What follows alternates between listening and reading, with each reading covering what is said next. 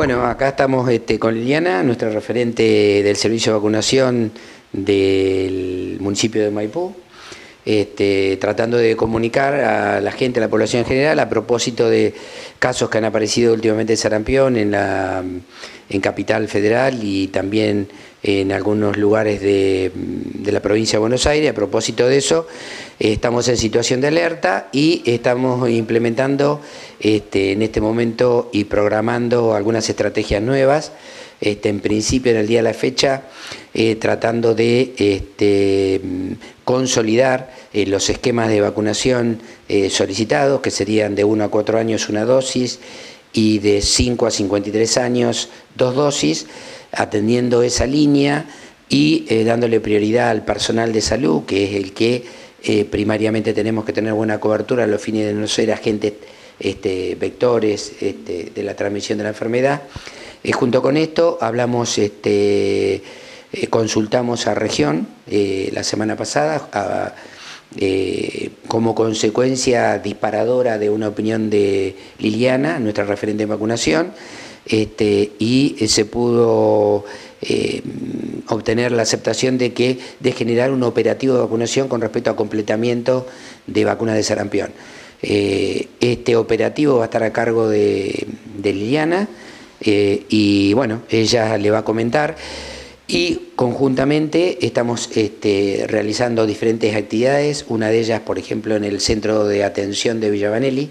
que en el día de la fecha este, en la semana anterior estuvimos haciendo relevamiento de libretas sanitarias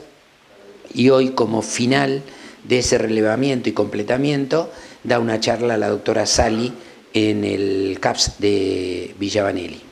Eh, con respecto al operativo, bueno, eh, le doy a Liliana para que nos diga más o menos en qué va a consistir eh, esta acción que vamos a desarrollar. El operativo al cual se refiere el doctor Nogueira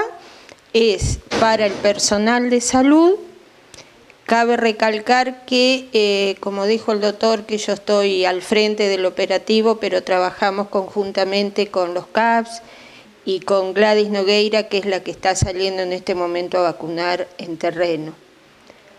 Eh, se va a vacunar a todo el personal de salud que, nacido después del año 65, no pueda constatar que tiene dos dosis, o de triple viral, o una de triple viral y otra de doble viral.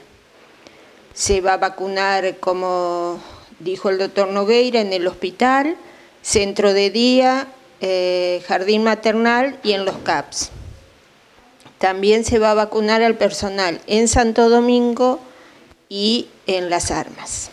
El operativo no tiene un día determinado para que finalice, sino cuando ya eh, tengamos cubierto a todo el personal que es requerido vacunar, ya daremos fin ahí. También quiero aclarar que se va a vacunar a todos los estudiantes de la carrera de enfermería. Por el momento es un operativo en, dentro del personal de salud, para el personal de salud, por el momento. Si vinieran otras directivas emanadas de región octava, bueno, ya daremos a conocer y se abrirá la vacunación.